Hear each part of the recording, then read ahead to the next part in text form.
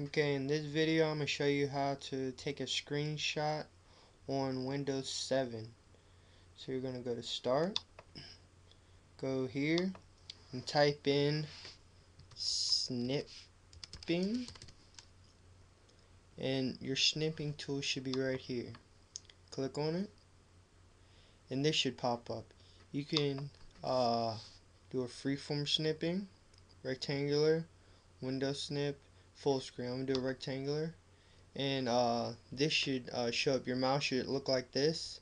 You just drag it across on how long you want it to be. I'm going to do a little full screen. Then you can save it.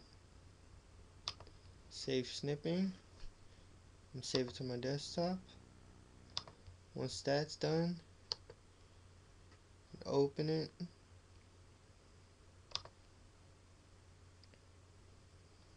and you will have your screenshot right here.